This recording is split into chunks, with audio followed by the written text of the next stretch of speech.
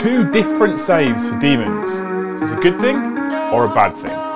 Find out in this video.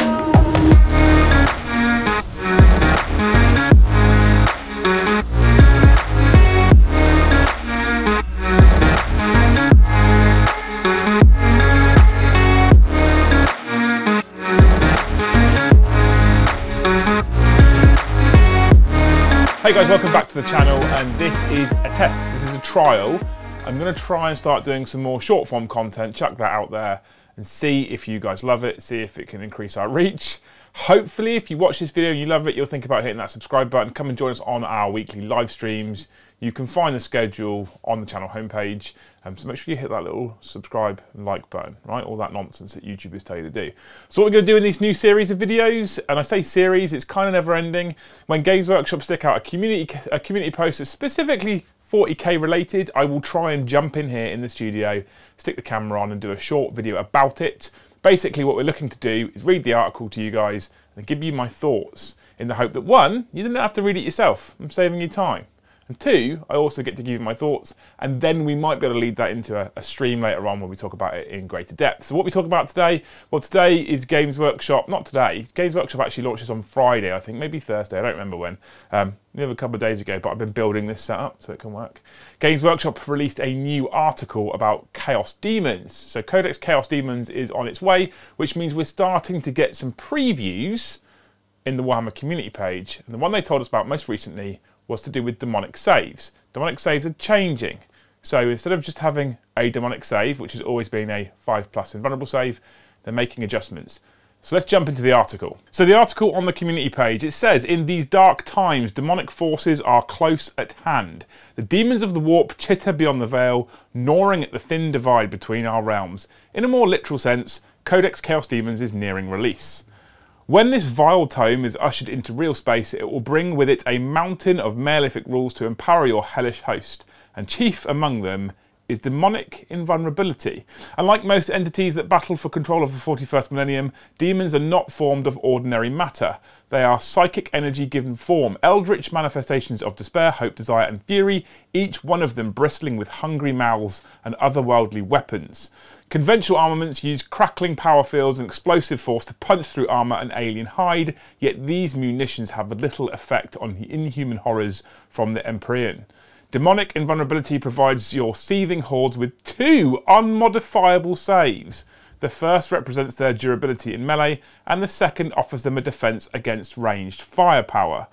As you'd expect, Bloodletters care little about where the blood flows from in melee, and with those new stats, they're even better at shredding than before. But they make for a more challenging target at range. It might be their unnatural loping gait, or perhaps Khorne's just too busy enjoying the spectacle of close combat to lend his protection. On the other hand, Pink horrors are even squishier than before in close combat, but bullets and flames simply pass through their shifting forms as they blink in and out of existence, as with everything, this is by Tzeentch's design. Slaying one horror just leaves you grappling with two more. Demonic Invulnerability is far from the only new or updated ability lurking in the Immaterium. Codex Chaos Demons is set to make your demons even more terrifying than before, perfect for overwhelming the material realm in a tide of warp-touched horror.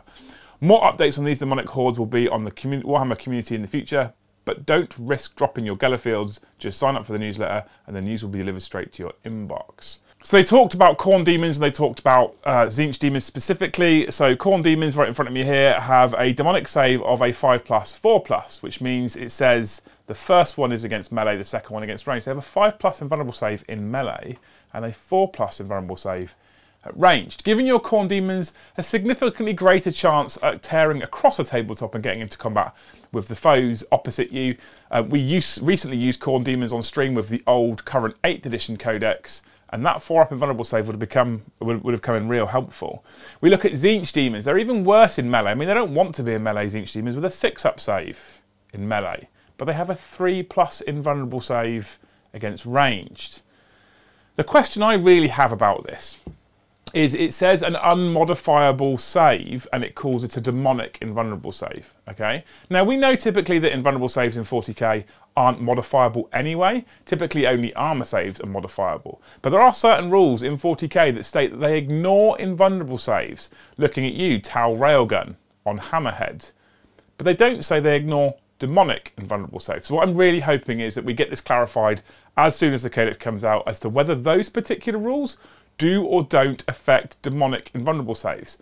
My gut feeling tells me that they should affect demonic invulnerable saves, not that they should just be immune to everything because they're demons. But who knows? This is Games Workshop that we're talking about. It could be, it could be that demon saves are the new stupid thing.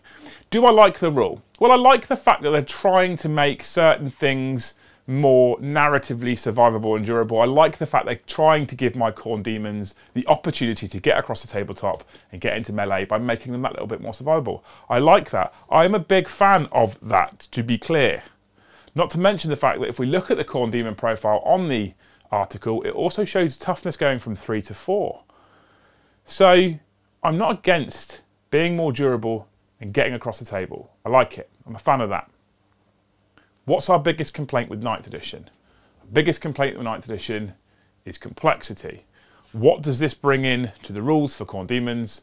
More complexity. You now need to know two saves for your demons. Now we don't yet know if the 5 plus 4 plus for Khorne and the 6 plus 3 plus for Tzeentch is the save across all of the demon ranges. We don't know if Bloodthirsters are also 5 plus 4 plus and Lords of Change are also 6 plus 3 plus. We don't know that at all. So it might be that we see multiple different types of demonic saves across a single god. If you want to run a multi-god chaos detachment, and we see these quite frequently, where you have some Tzeentch demons and some Khorne demons and some plague bearers, and even if each god has the same saves, you've got lots of different saves to remember. At least when it was a flat five up, you knew that your army had a 5 plus invulnerable save. Now don't get me wrong, I'm not saying that's what we should keep, because I still don't think that was durable enough or good enough to get demons across the table and into melee but at least it was simplistic. So I don't like the complexity of having to now remember two different saving throws for each of your demons. I don't like the unclarity as to whether rules that ignore invulnerable saves ignore demonic invulnerable saves. I do, however, like the fact that they're trying to make demons more frightening. I like the fact that they're supposed to be more scary, and I like the fact that my demons have a much higher chance of getting across that table and sticking the Hellblade in you. That's what we want to do. That's what Khorne wants to do. Anyway, let me know in the comments below what you think of this new demonic save. Do you like it? Do you hate it? Are you excited for Codex uh, Chaos Demons or are you not because you're already look at this and going, we've only just seen some previews and these look quite complicated. I'm super keen to know what you guys think. I'm also keen to know what you think of this new style of video. So this isn't the Codex reviews, which is currently the only pre-recorded content we do on the channel. This is now something that we'll be ch chucking out hopefully two to three times a week, I'm hoping. I'm hoping. I'll keep doing it if it's successful. Make it successful and I'll keep doing it. Anyway, Please hit that subscribe button. Join the channel if you want more of these videos. Make sure you've got allow gifts turned on because in the live streams, people are prolific at gifting memberships to you and then you'll get to come and hang out with us in the members area and check out all that amazing members content. Uh, if you are going to look at picking up any of the demons as they come out, use the Element Games link in the video description below. Directly supports the channel. They are our sponsors along with the wonderful people at Siege Studios. There should have been a pre-roll at the start of the video. Anyway, that's all from me. Thank you very much for watching and we'll see you in the next one.